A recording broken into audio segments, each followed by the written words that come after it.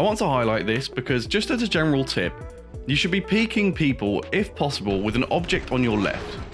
Doing so, you'll expose the least amount of your model to the opponent that you're in a gunfight with.